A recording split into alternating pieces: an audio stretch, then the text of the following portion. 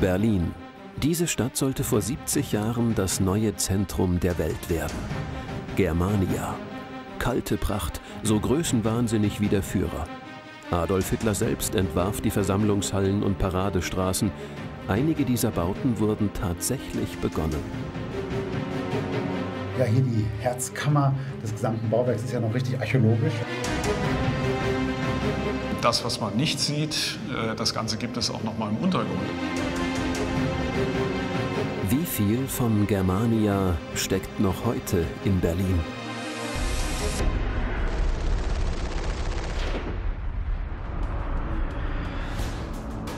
Das Zentrum der Hauptstadt verändert ständig sein Gesicht. An einigen Plätzen wächst Neues neben Altem. An anderen Orten ist man froh, dass von der Vergangenheit nichts mehr zu sehen ist. Am Spreebogen zwischen Reichstag und Kanzleramt deutet wenig darauf hin, dass Hitler genau hier das gigantischste Bauwerk seiner neuen Hauptstadt geplant hatte. Die große Halle sollte 320 Meter hoch werden, ein Versammlungsort für 180.000 Menschen. Die neue Welthauptstadt sollte in den Geschichtsbüchern einen ähnlichen Platz einnehmen wie das alte Rom oder Babylon. Der Umbau der Stadt begann genau dort, wo heute das neue Regierungsviertel steht. Was aber kaum jemand weiß, nicht weit vom Kanzleramt und einen Sprung vom Reichstag entfernt lassen sich noch heute die baulichen Anfänge von Germania entdecken. Der Berliner Landesarchäologe Matthias Wemhoff, selbst er, der Kenner des Berliner Untergrunds, hat diesen geheimnisvollen Ort noch nie gesehen. Heute will er zusammen mit Sascha Keil vom Verein Berliner Unterwelten die vergessenen Reste von Hitlers Hauptstadt erkunden. Bis gleich. Bis gleich. Der Einstieg befindet sich irgendwo versteckt zwischen Siegessäule und Brandenburger Tor. Der genaue Ort wird geheim gehalten. Zu groß ist die Gefahr, dass Hobbyforscher in den Schacht klettern. Tief hinab geht es unter die Parkanlagen des Tiergartens zu einem der Lieblingsprojekte Adolf Hitlers. In 15 Metern Tiefe liegt ein fast 20 Meter breiter und 100 Meter langer Betontunnel. Der Führer verlangte, dass die Kreuzungen an seiner geplanten Prunkstraße in den Untergrund verlegt werden. Kein Verkehr sollte seine Triumphzüge auf der oberirdischen Paradestraße stören. Er beauftragte seinen Lieblingsarchitekten Albert Speer mit der Lösung für Europas modernsten Tunnel. Damit der Verkehr auch im Winter reibungslos durch Berlins Untergrund fließt, plante Speer sogar, die Straßen gegen Glatteisgefahr zu beheizen.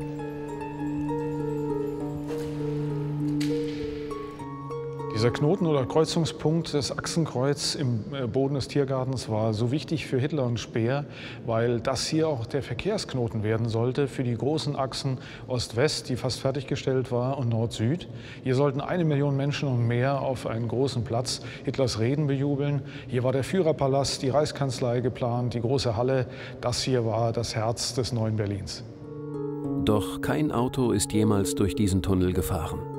Stattdessen finden die Forscher einen Hinweis auf eine ganz andere Nutzung. Eine Treppe, eine völlig ausgetretene Treppe. Als die ersten Bomben auf Berlin fielen, wurde aus dem Tunnel ein Schutzraum. Und diese Stufen hier sind ja extrem ausgetreten. Man kann sich vorstellen, wie die hier in Panik diese super steile Treppe hereingestürzt sind. Runtergeschlittert und sich gegenseitig geschoben und gestoßen. Das ungefähr ergibt dann das ausgetretene Bild. Letzte Spuren des Krieges, aus der geplanten Hightech-Kreuzung wurde noch während des Baus ein Bunker. Doch Hitler trieb oben unbeirrt den Umbau Berlins voran. Wenn ich dieses Foto sehe, wie Hitler am Modell von Germania steht, dann denkt man, das ist ja irre, das ist ja verrückt, das ist ja die totale Veränderung von Berlin mit gigantischen Abrissen. Hier unten merkt man, das war bitterer Ernst, auch das wäre umgesetzt worden, auch das war sozusagen im Werden und dieser ja, Straßentunnel, der vielleicht zunächst sogar auch ein äh, bautechnisch, architektonisches, sehr interessantes und spannendes Gebäude und Experiment in vielen Bereichen ist, ähm, ja, ist Teil eines großen, großen, wahnsinnigen Gesamtvorhabens. Das steinerne Monster Germania nahm erste Formen an. Über der Kreuzung wurde die Ost-West-Achse vom Brandenburger Tor bis zum einstigen Adolf-Hitler-Platz verbreitert. Der direkte Weg zu einem Hitlerbau, der heute immer noch voll funktionstüchtig ist. Das Olympiastadion.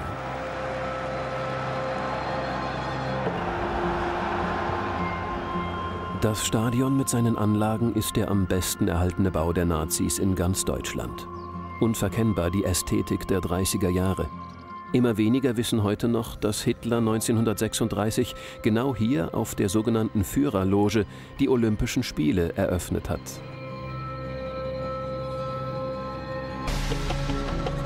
Ein Relikt aus der damaligen Zeit, die Olympiaglocke. Mit zwei pikanten Details, die nur leicht entnazifiziert wurden.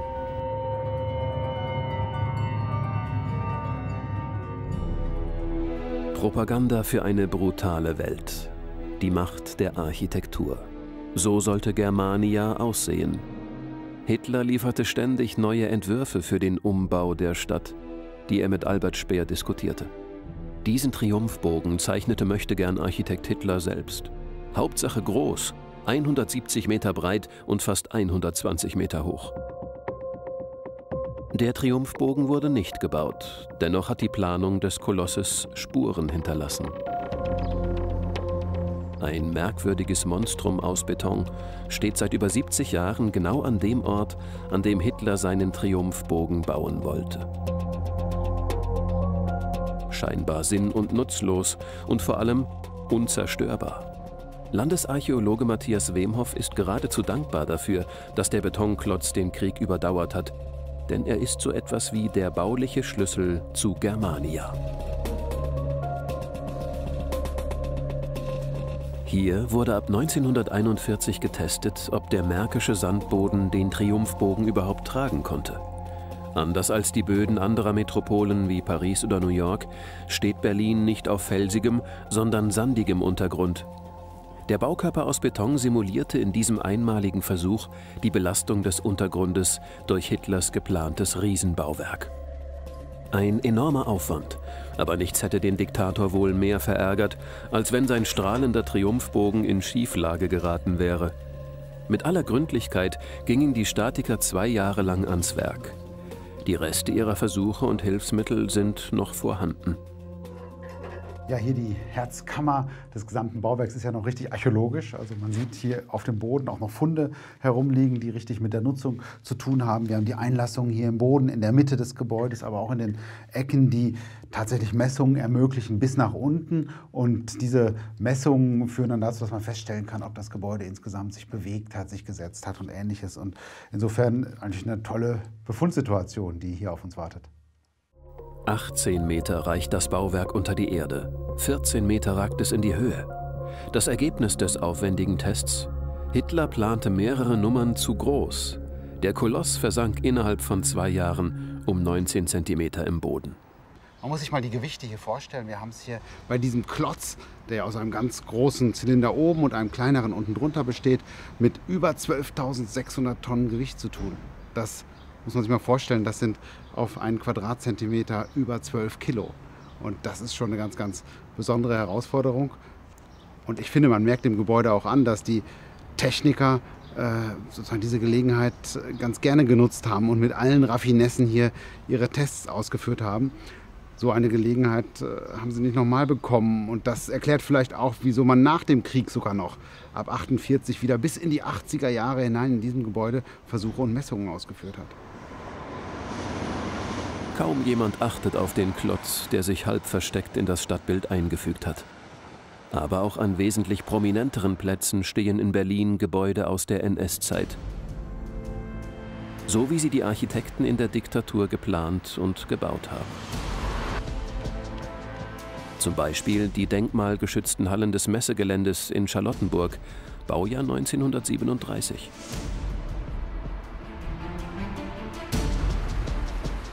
Oder die Botschaften der einstigen Verbündeten Japan und Italien im Bezirk Tiergarten. Sie entstanden nach den architektonischen Vorstellungen Albert Speers.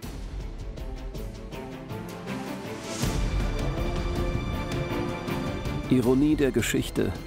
In einem einstigen Vorzeigebau der Nazi-Architektur am Fähr-Berliner Platz in Berlin-Wilmersdorf residiert heute ausgerechnet die Senatsverwaltung für Stadtentwicklung. Im Westteil der Stadt hatten sich die Alliierten nach dem Krieg dazu entschieden, funktionierende Bauten weiter zu nutzen. Wie aber sah es in Ostberlin aus, im Zentrum der alten Macht? Wilhelmstraße, Ecke Vossstraße. Hier entstand ab 1937 Hitlers neue Reichskanzlei. Das erste Großprojekt für den jungen Albert Speer. Tag und Nacht schuftete ein Heer von Bauarbeitern Umgerechnet eine Milliarde Euro kostete der Neubau.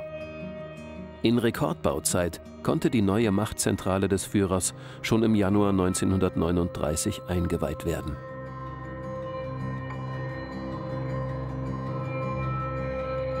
Kantig, protzig, spießig, ein Haus ganz nach Hitlers Geschmack. Besucher mussten durch Flure laufen, die scheinbar kein Ende nahmen.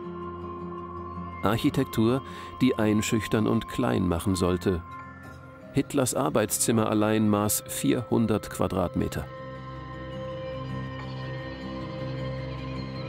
Wer die Reichskanzlei betritt, muss das Gefühl haben, vor den Herrn der Welt zu treten, sagte Hitler auf dem Höhepunkt seiner Macht. Sechs Jahre später lag Berlin in Schutt und Asche. Von der Stadt, die Hitler nach dem Endsieg auf einer Stufe mit dem alten Rom oder Babylon sah, war im Sommer 1945 kaum noch etwas übrig. Auch die bereits begonnenen Bauten der selbst erkorenen Welthauptstadt Germania waren zerstört oder stark beschädigt. Die Reste der Reichskanzlei wurden kurz nach Kriegsende von amerikanischen Soldaten gefilmt. Auf die Siegermächte übte dieser Ort eine dunkle Faszination aus. Die Gebäude wurden gesprengt, doch die unterirdischen Bunkeranlagen blieben unter dem Fundament erhalten. Auch der sogenannte Führerbunker, der letzte Aufenthaltsort Hitlers, wo der Diktator am 30. April 1945 zusammen mit Eva Braun Selbstmord begann. Anfang der 60er Jahre. Die Mauer wird gebaut. Die Grenze nahm dem DDR-Regime die lästige Beschäftigung mit der deutschen Vergangenheit ab. Begraben unter der Mauer, die Nazi-Bunker schienen für alle Zeiten vergessen.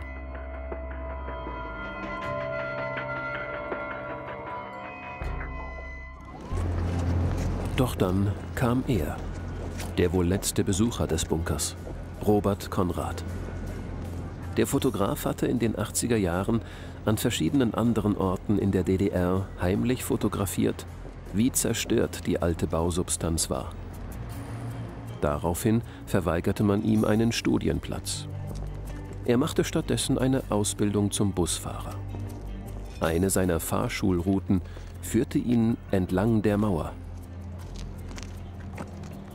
Und da kam ich im Sommer 1987 äh, als Busfahrlehrling ähm, auf dem Bock von so einem Icarus-Gelenkbus äh, hier die damalige Grotewohlstraße entlang, die Wilhelmstraße und konnte über, äh, aufgrund meines erhöhten Sitzplatzes eben über diesen langen Bauzaun, der hier stand, hinwegsehen und konnte hier links eben das große freie Terrain bis an die Mauer ran äh, erblicken. Für die Plattenbauten mussten die Nazi-Bunker noch einmal freigelegt werden. Robert Konrad besorgte sich eine Bauarbeiterkluft und wartete auf seine Chance. Oben liefen äh, Arbeiter vom VEB Tiefbaukombinat herum. Und wenn der Moment günstig war und ich meine äh, vermeintlichen Arbeitskollegen äh, bemerkt, dass die mir den Rücken drehten, dann huschte ich eben mit meiner Kamera durch so, solche Türen und verschwand in der Unterwelt. 42 Jahre nach Hitlers Selbstmord sollten die Bunkerreste unbemerkt von der Öffentlichkeit endgültig verschwinden. Es war die letzte Chance zur Dokumentation. Der Fotograf stieg vorsichtig hinab in die Ruinen. Es war also unglaublich faszinierend, äh, die eigenen Schritte hallen zu hören in diesen, äh, in diesen Katakomben. Wo alles, was dort noch zu sehen war, eben wirklich äh, erschreckend original war, bis hin zu den äh, Projektilen und, und Waffenresten, die da rumlagen, äh, Uniformreste von, von Wehrmachtsoffizieren, Tresore, in denen eben wirklich äh, bedeutende äh, Unterlagen der Regierung ursprünglich gelegen haben. Äh, dann wieder kam man in Räume, die also regelrecht vollgestellt waren mit, mit Mobiliar, mit Stahlschreibtischen, Stahlschränken, Tresoren oder eben auch mit äh, Haustechniken, wie zum Beispiel hier diese Energie- und Lüftungszentrale unter der neuen Reichskanzlei, wo man dann eben auch wirklich noch so Haustechnik äh, so fand, wie sie zum Kriegsende äh, hinterlassen worden war. Vielleicht noch es gab dort unterirdische Zufahrten, wo also mindestens ein großer Pkw, äh, wenn nicht sogar ein kleiner Lkw äh, hätte fahren können. Und äh, da im Verlauf dann, also diesen Tunneln dort folgend in Richtung Westen, wusste ich dann zum Teil wirklich nicht mehr, ob ich unter der ersten Mauer schon durch bin. Das war für mich allerdings weniger verlockend. Ähm, die Hoffnung, da nun wirklich im Westen rauszukommen, hatte ich nicht. Also das wäre naiv gewesen. Im Gegenteil, ich hatte einfach eher Angst, dass Grenzer mich dort unten äh, ertappen und mir äh, unterstellen, dass ich hätte fliehen wollen. Aber die Faszination, äh, was kommt am Ende des Tunnels, war stellenweise größer als die Vernunft. Ähm, es ging aber zum Glück ja immer gut. Robert Konrad fotografierte sich vor dem Führerbunker sogar lässig selbst. Er war der Letzte, der die Bunker von Hitler und Goebbels dokumentiert hat, bevor sie endgültig zugeschüttet und versiegelt wurden. Nur wenige Schritte vom Ort der Täter ein Ort für die Opfer. Das Denkmal für die ermordeten Juden Europas. 19.000 Quadratmeter groß. Hier kann man sich verlieren in Gedanken und Erinnerungen. Wo aber geht es zu den Tätern? Hat Berlin etwa immer noch Angst vor Nazi-Nostalgikern? Der Ort, von dem der Holocaust ausging, ist vollkommen unsichtbar. Die Touristen wirken in der Wilhelmstraße einigermaßen desorientiert. Man ist auf ortskundige Profis angewiesen. Also nicht die neue Reichskanzlei hatte den Bunker, den berühmten, berüchtigten Führerbunker unter sich, sondern die alte Reichskanzlei. Das war also ein Stückchen hier hinter uns. Das ist eben auch der Ort, wo Adolf Hitler am 30. April 1945 seinem Leben ein Ende gesetzt hat, wo äh, sein direkter Nachfolger als Reichskanzler Josef Goebbels ebenfalls ähm, eigentlich nur Stunden später mit seiner ganzen Familie Suizid gemacht hat.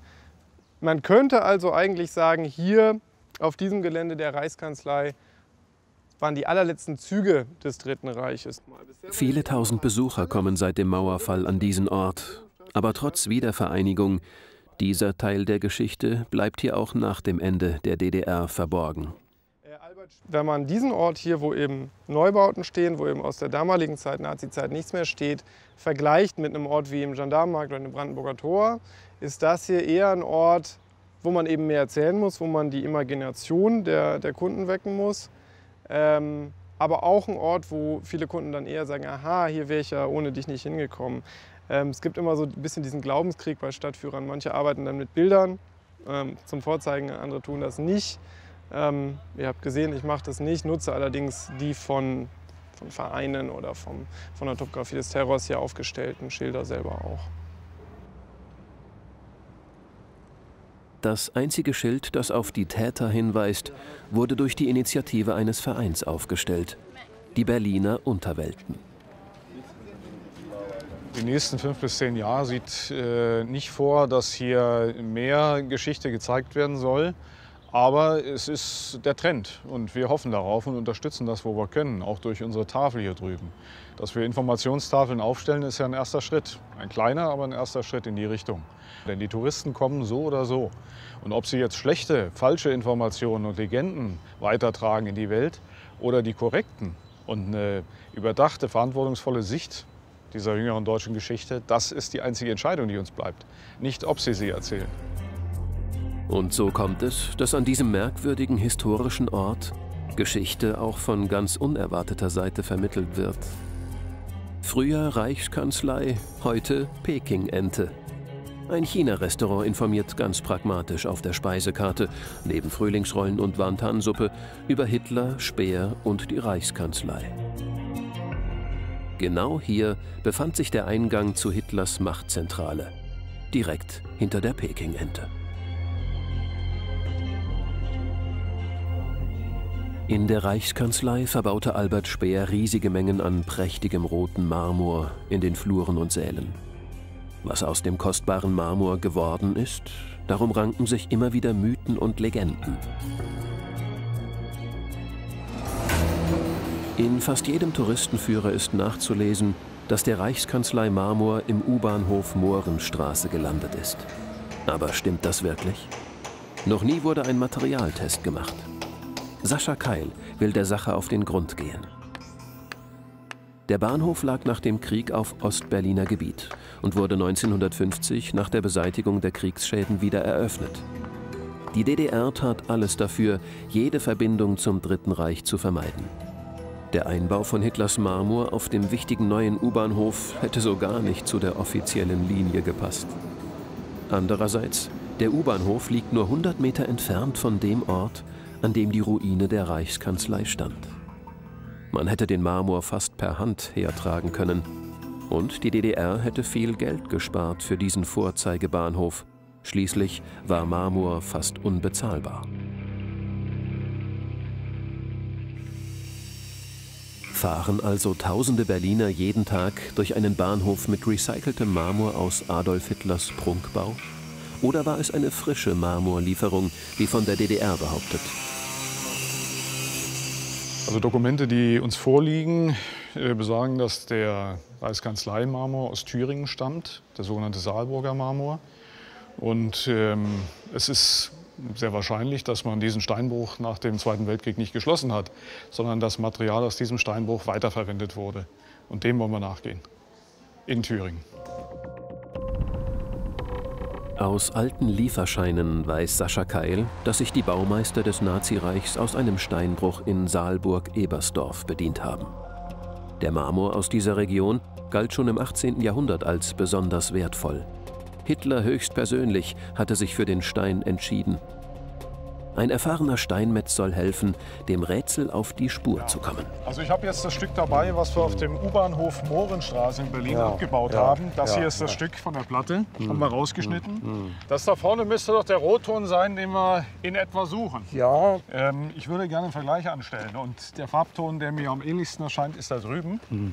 Jetzt werden wir mal hier gleich in die ersten Blöcke rangehen. Ne, wenn wir hier das dunkle Material schon mal sehen. Niemand kennt den Saalburger Marmor besser als der 73-jährige Hartmut Weber. Rot ist für ihn nicht gleich rot. Für Weber ist die Probe aus der Mohrenstraße etwas zu dunkel. Ich würde schon sagen, dass äh, der Stein als Ursprung ein Königsrot ist und kein Rot aus dem, aus dem Saalburger Marmorbruch hier. Hartmut Weber ist skeptisch. Für das ungeübte Auge jedoch sieht der Marmor der Probe aus der Mohrenstraße sehr ähnlich. Sascha Keil will mit zwei Vergleichsstücken weiter recherchieren. Also gefühlsmäßig sind wir hier äh, nicht nur aufgrund der Dokumentenlage an der absolut richtigen Stelle. In diesen Brüchen hier in der Saalburger Region äh, sind die Marmorvorhaben ausgebeutet worden für die Berliner Bauvorhaben, das schon seit vielen Jahrzehnten und unter mehreren Regierungen, nicht nur Hitlers, sondern eben auch der DDR-Zeit. Äh, die Rotfärbung des Marmors, den wir hier auch in der Facette sehen in diesem Bruch, kommt dem sehr nahe, dem äh, äh Stück, was wir mitgebracht haben aus Berlin. Hier können wir weitermachen. In einem Labor der Mineralogen der Freien Universität Berlin soll Klarheit geschaffen werden. Dr. Ralf Milke ist der Spezialist, wenn es darum geht, alten Steinen ihre Geschichte zu entlocken. Der Wissenschaftler hat den Marmor aus der Mohrenstraße mit dem aus dem Steinbruch verglichen. Zehn Tage lang wurden die Proben in transparenten Dünnschliffen auf die Analyse vorbereitet. Das Ziel ist der Vergleich der chemischen Zusammensetzung der Minerale. Mit einer Elektronenstrahlmikrosonde hat der Forscher die Probenflächen auf 1000 Millimeter vergrößert. Heute will sich Sascha Keil das Ergebnis abholen. Jetzt habe ich hier die Probe aus der Mohrenstraße, aus der U-Bahn-Station. Jetzt zoome ich da mal rein. Und jetzt sieht man etwas, was man vorher auch am Mikroskop überhaupt nicht sehen kann, am Lichtmikroskop. Diese feinen Striche hier. Hm? Das sind alles einzelne Minerale, die fehlen in der anderen Probe vom Steinbruch eigentlich völlig. Mhm. Dafür hat das Stück aus dem Steinbruch Strukturen, die in der Mohrenstraße völlig fehlen. Die Probe vom Steinbruch, die enthält jede Menge Überreste an Fossilienschalen. Ja, der Kalkstein, der ist aus einem ehemaligen Kalkschlamm entstanden und da sind noch kleine Schalenreste drin. Und das äh, ist eigentlich ein deutliches Indiz, dass diese beiden Gesteinsproben eine unterschiedliche geologische Geschichte haben. Das bedeutet, der Marmor aus der Mohrenstraße stammt nicht aus dem gleichen Steinbruch, aus dem der Marmor der Reichskanzlei gebrochen wurde. Aber eine Frage bleibt. Wo ist dann das viele Material, die wertvollen Baumaterialien, die nachweislich abgebaut wurden, aus der Reichskanzlei geblieben? Tonnen von Marmor, wo sind die hin? Spekuliert wird in Berlin seit Jahrzehnten. Viele Orte werden immer wieder genannt. Auch das sowjetische Ehrenmal im Tiergarten. Allerdings, es wurde bereits 1945 errichtet, als die Reichskanzlei noch gar nicht gesprengt worden war. Die Volksbühne erscheint schon wahrscheinlicher. Für das Foyer des Theaters in Berlin-Mitte fehlen allerdings bislang sichere Belege für die Herkunft des Marmors. Die Spur der Steine führt weiter zur Humboldt-Universität. Dieser Marmor wurde während der NS-Diktatur aber nachweislich außerhalb Berlins gelagert. Und auch das sowjetische Ehrenmal in Treptow scheidet aus. Der vermeintliche Marmor hier ist in Wirklichkeit Granit. Hitlers Germania ist eben doch nicht so leicht zu finden. Und doch gibt es NS-Relikte an Orten, an denen man sie am wenigsten vermuten würde. Zum Beispiel in einem Verwaltungsgebäude des Bundestages. Ein Haus, das 1937 zum Reichsinnenministerium gehörte. Es ist nicht so sehr der erstaunlich moderne Bau, der überrascht, sondern vielmehr ein Detail, das so unscheinbar über einer Tür angebracht ist, dass man es fast übersieht.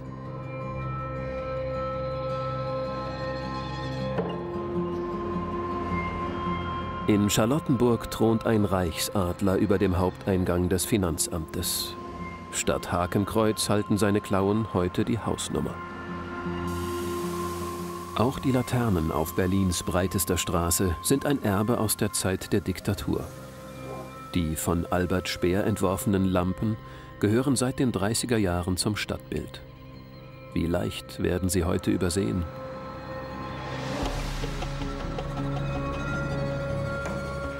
Auch die Reliefs aus den 30er Jahren, die mehr als die Laternen ahnen lassen, welche Ideologie dahinter steht.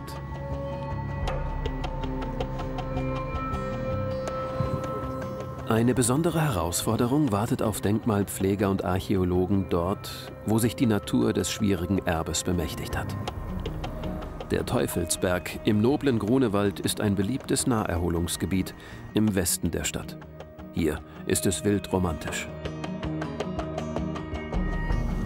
Der 120 Meter hohe Berg war während des Kalten Krieges aber auch für Agenten interessant. 1957 baute die US-Armee eine Abhöranlage auf den Berg. Mit in den Kuppeln versteckten Antennen konnten Amerikaner und Briten den Flug- und Funkverkehr bis etwa 600 Kilometer weit hinter den Eisernen Vorhang überwachen. Sie nannten den Berg den letzten Hügel vor Moskau. Nach dem Fall der Berliner Mauer ließen sie ihre inzwischen skurril wirkende Field Station zurück. Der Teufelsberg hat jedoch im Volksmund noch einen anderen Namen. Berliner nennen ihn auch Trümmerberg. Denn wo sich heute der Teufelsberg befindet, liegen die baulichen Reste der neuen Hochschulstadt der Nationalsozialisten. Studenten der Geoscientific Society bereiten eine geoelektrische Messung vor um sichtbar zu machen, was von Hitlers Hochschule tatsächlich gebaut wurde. Dieser Ort bietet ein hervorragendes archäologisches Testgelände für verschiedenste Methoden, denn es sind so extreme Bedingungen hier, wie wir sie an kaum einem anderen Ort in einer natürlichen Grabung haben, dass wir durch einen solchen hohen Berg von Kriegsschutt hindurch müssen, um zu kontrollieren, was da unten drunter steckt. Die Studenten setzen elektrische Widerstandsmessungen ein, mit denen man Strukturen erkennen kann, ohne einen Spatenstich zu machen.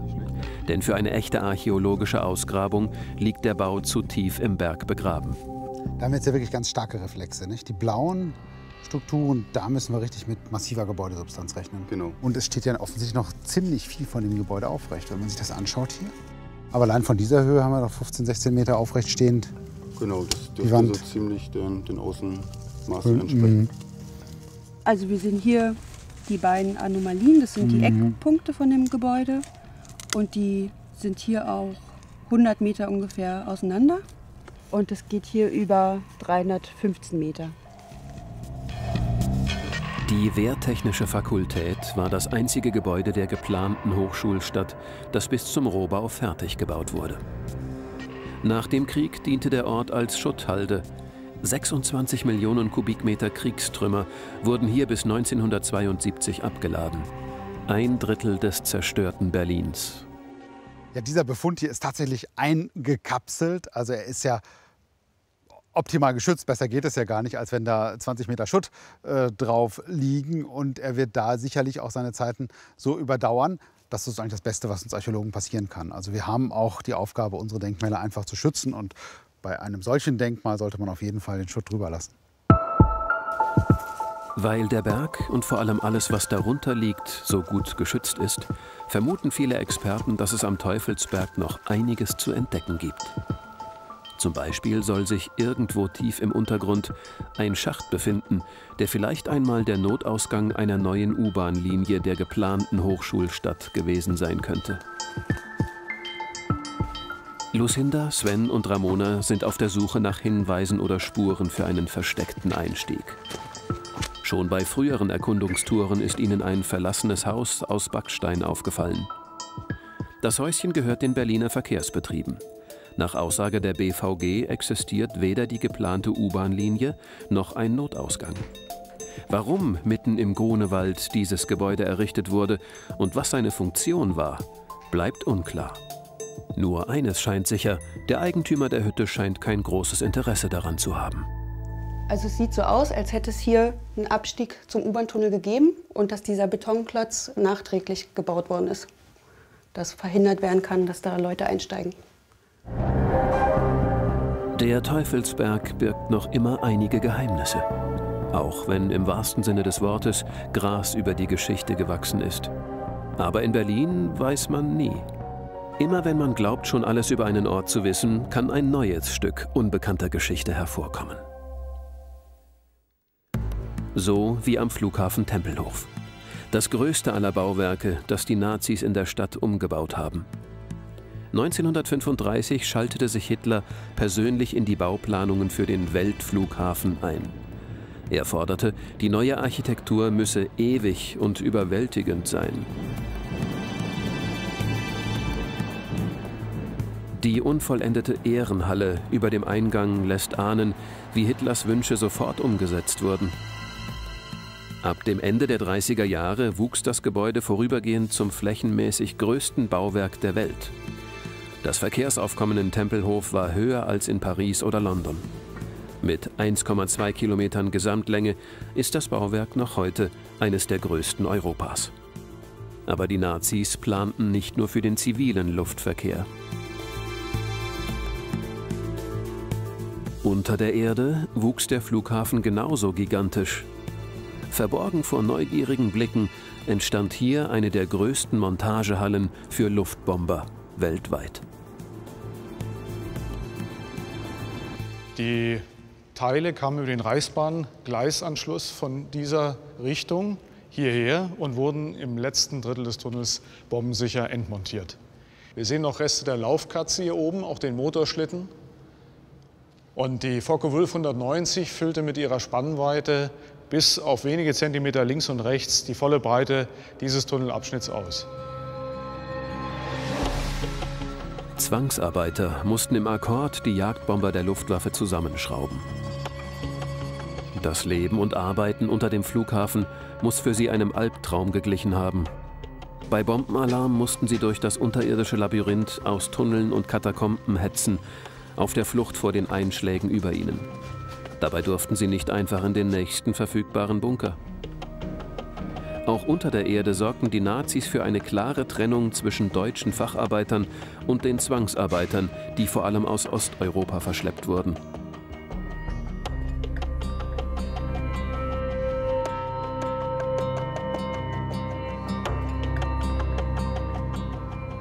Diesen äh, Bunkerräumen waren die Angehörigen der Lufthansa AG untergebracht und äh, Kinder auch tageweise.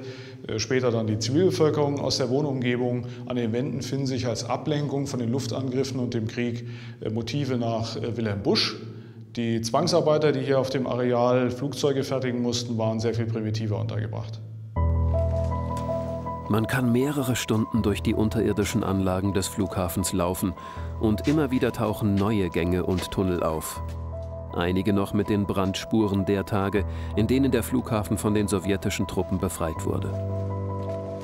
Über fünf Kilometer ziehen sich die Katakomben im Untergrund durch die Erde. Immer weiter geht es durch das Gewölbe. Schließlich findet Sascha Keil Räume mit Rundbögen, vielleicht die provisorischen Schutzräume der Zwangsarbeiter? Die besten, am besten ausgeführten Schutzbauwerke waren natürlich den NS-Größen äh, vorbehalten, auch den Militärs, Ministerien und so weiter. Und äh, man kann schon davon ausgehen, dass in den schlechter geschützten, äh, wie einem solchen spät gebauten, materialschonend gebauten Bunker dann auch äh, die Menschen untergebracht wurden, die für das Regime nicht von höherem oder äh, sogar von geringem Wert waren. Mit ihnen haben die Funde zu tun, die erst im letzten Jahr direkt unter dem Flugfeld gemacht wurden. Die Archäologen zeigen eindrucksvoll, wie genau sie eine vergessene Geschichte nacherzählen können. Die Geschichte eines Zwangsarbeiterlagers. Die auf den ersten Blick unscheinbaren Fundstücke aus dem Lager haben es in sich. Ganz viele Details äh, darüber, wie man hier gelebt hat als Zwangsarbeiter oder Zwangsarbeiterin, sind nicht mehr bekannt. Wenn Sie zum Beispiel wissen wollen, äh, wie dick waren die Wände, wie war es, also temperaturmäßig im Winter, Sommer und so weiter, dann sind so kleine Indizien wie eben ein rostiger Nagel, der am Ende umgebogen ist. Und in der Regel haben diese Nägel, von denen wir sehr viele finden, eine Länge von sieben Zentimetern und dann den Knick.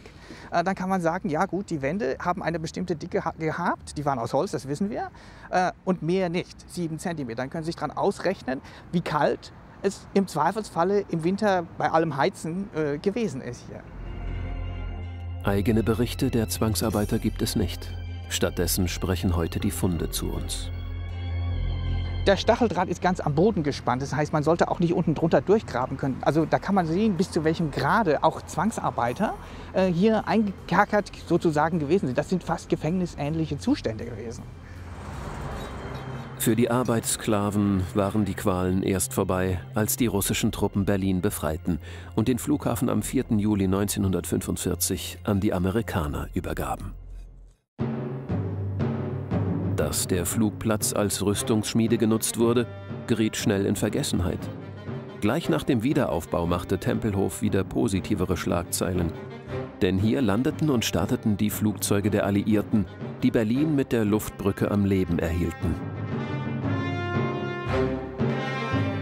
Ein Jahr wurde die Stadt 1948 aus der Luft versorgt. Alle drei Minuten landete ein Flugzeug. In 30 Minuten musste jede Maschine entladen und wieder startbereit sein. Bis zu 1400 Starts und Landungen innerhalb von 24 Stunden. Die Flugzeuge flogen bei Tag und Nacht in einer so engen Reihenfolge, dass jeder Pilot nur einen Landeversuch hatte. Misslang er, musste er mit seiner gesamten Ladung wieder umkehren. Die Luftbrücke war ein Husarenstück. Auch deshalb ist den Berlinern der Flughafen ans Herz gewachsen.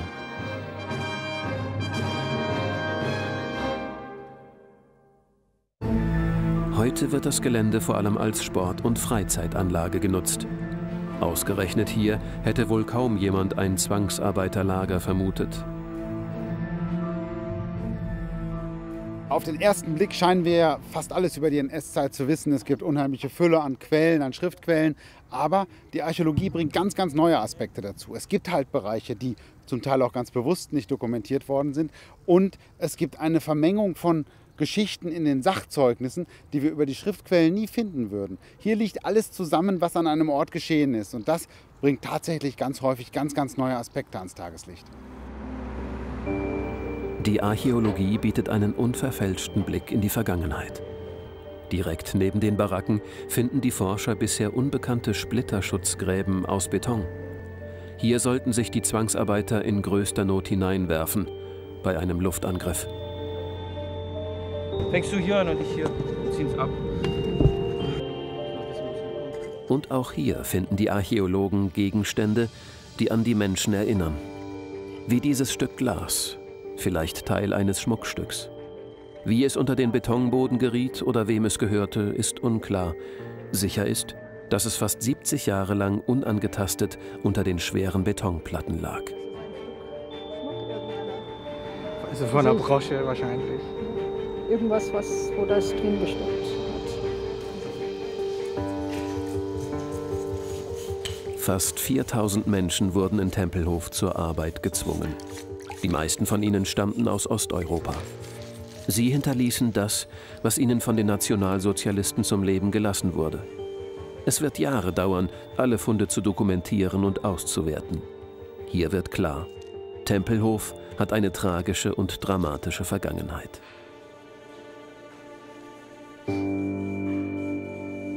Wir haben eine ganze Reihe an äh, Plaketten gefunden, von denen es zwei Sorten gibt. Es sind welche da, die gestand sind auf der, Rück-, auf der Vorderseite mit Nummern. Äh, dann gibt es aber auch Objekte, wo wir genau feststellen können, dass die offensichtlich von den Zwangsarbeitern selbst äh, gemacht worden sind. Man hat hier mit einem Bohrer äh, kleine Punkte reingebohrt. Das heißt, es müssen Arbeiter gewesen sein, die Zugang zu Maschinen hatten. Und was hier eben entstanden ist, das sind die Initialen HB. Äh, das sind äh, Funde, bei denen wir eben doch sehr viel intensiver uns noch damit beschäftigen müssen, um herauszufinden, äh, was die für einen Sinn innerhalb dieses Zwangsarbeiterlagers hatten. Der einstige Flughafen ist zu einem Bodenarchiv geworden. Wie so viele andere Orte in Berlin, an denen Relikte des Dritten Reichs noch zu sehen sind oder im Boden schlummern. Im Stadtbild von Berlin haben sich eine, doch eine Fülle von Gebäuden aus der Zeit der Nazidiktatur erhalten. Viel mehr, als man auf den ersten Blick meinen könnte. Und es ist, glaube ich, eine besondere Herausforderung, einen angemessenen Umgang mit diesen Gebäuden auch zu finden. Erhält man sie? Würdigt man damit in gewisser Weise die Diktatur? Oder zerstört man sie und verdrängt man damit die Erinnerung an diese Epoche aus der Geschichte? Ich bin der Überzeugung, das ist einfach ein Teil der Geschichte Deutschlands, ein Teil der Geschichte der Hauptstadt. Und ähm, es ist ganz wichtig, dass man solche ja, Phasen, auch so schreckliche Phasen, auch im Stadtbild noch ablesen kann, dass sie ihre Spuren hinterlassen haben. Die Stadt entsteht aus Gebäuden verschiedenster Epochen und diese zwölf Jahre sind für Deutschland doch eine ganz, ganz wichtige Zäsur gewesen. Deswegen sollte man zu diesem Erbe auch stehen, Nutzungen dafür auch finden. Ich denke, den Gebäuden sieht man an, aus welchem Geist sie entstanden sind. Und das ist vielleicht das Wesentliche, was ein Denkmal ausmacht. Manche der bösen Bauten sind berühmt und beliebt. Manche dagegen provozieren uns heute noch mit ihren kalten Fassaden. Zeugen einer Zeit, die wir aushalten sollten. Die Steine haben etwas zu erzählen.